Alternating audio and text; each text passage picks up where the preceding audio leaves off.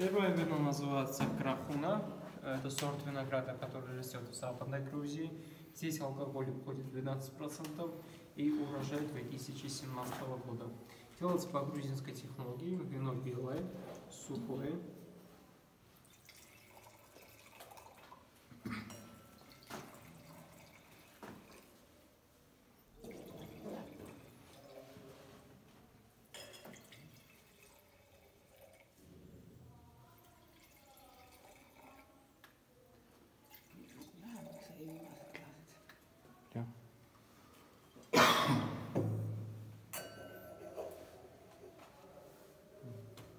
Nii tuleb leevetada.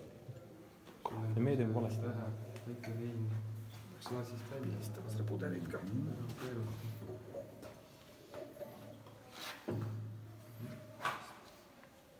mis ta siis rääkis sellest?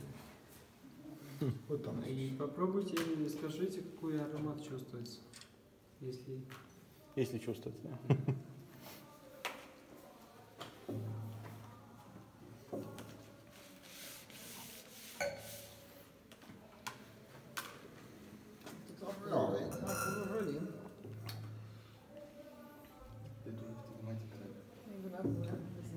See on nagu neutraalne.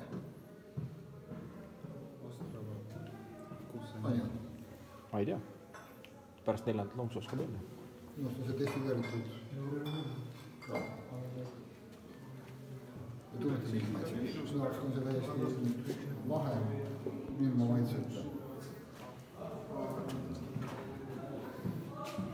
siis ainult äh, valget veini. miks see oli? ei, see oli punas peaaegu. jah, tahtsin just punase võtta.